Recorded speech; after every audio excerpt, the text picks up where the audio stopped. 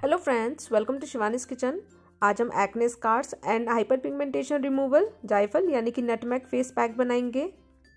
सो so basically ये face pack आपकी skin पर से किसी भी तरीके के dark spots acne scars hyperpigmentation की प्रॉब्लम को कम्प्लीटली रिमूव कर आपके स्किन टोन को इवन बनाएगा।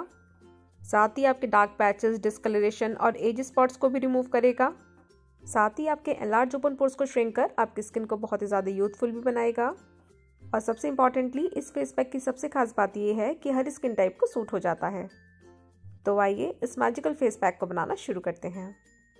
नटमैग फेस पैक बनाने के लिए मैंने ये दो नटमैग, यानी कि जायफल ले लिए हैं। ये दिखने में कुछ इस तरीके के होते हैं और ये आपको किसी पंसारी की शॉप पर बहुत ही ईजिली मिल जाएँगे।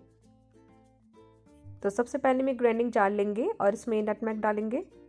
जार का ढक्कन लगाएँगे और इन्हें अच्छे से ग्राइंड कर लेंगे। तो यहाँ आप देखिए, मैंने नटमेग को अच्छे से ग्राइंड करके इसका फाइन पाउडर बना लिया है। तो चलते हैं नेक्स्ट स्टेप पर। तो अब हम एक क्लीन बोल में ये जायफल का पाउडर निकाल लेंगे। जायफल हमारे एलार्ज ओपन पोर्स को श्रिंक कर हमारी स्किन को यूथफुल बनाता है।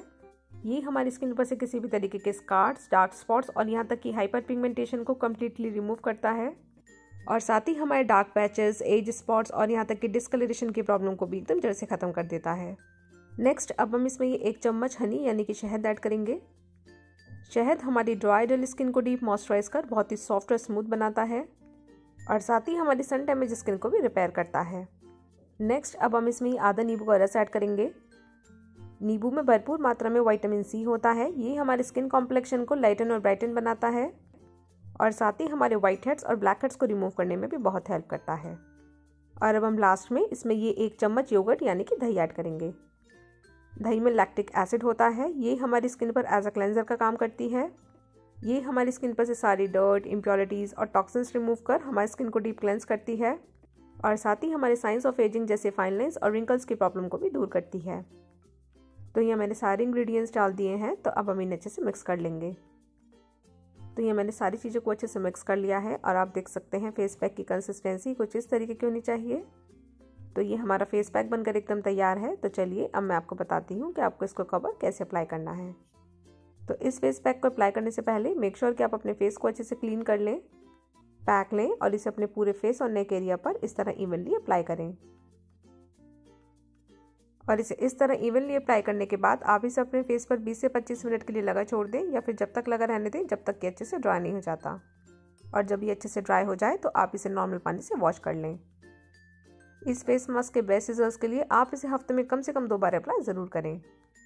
और इसके लगभग दो तीन एप्लीकेशन के बाद ही आप देखेंगे कि आपके स्कार्स डार्क स्पॉट्स और यहाँ तक कि हाइपर पिगमेंटेशन कम्प्लीटली रिमूव हो जाएँगे। आपका स्किन टोन भी एकदम इवन दिखाई देने लगेगा। साथ ही आपके एनलार्ज ओपन पोर श्रिंक हो जाएँगे और आपकी स्किन एकदम क्लिस्टर क्लियर स्पॉटलेस और बहुत ही ज़्यादा ग्लोइंग दिखाई देने लगेगी। तो आप भी इस hundred percent natural and effective face pack को ज़रूर बनाइएगा और इसका रेगुलर यूज़ कीजिएगा, क्योंकि तभी आपको पता लगेगा कि ये कितना इफ़ेक्टिव है। तो आप भी एक बार ट्राई ज़रूर कीजिएगा और मेरे को कमेंट सेक्शन में कमेंट करके ज़रूर बताइएगा कि आपको मेरी रेसिपी कैसी लगी और मेरी वीडियो को लाइक और शेयर करना ना भूलिएगा और मेरे चैनल को सब्सक्राइब ज़रूर कीजिएगा। धन्यवाद।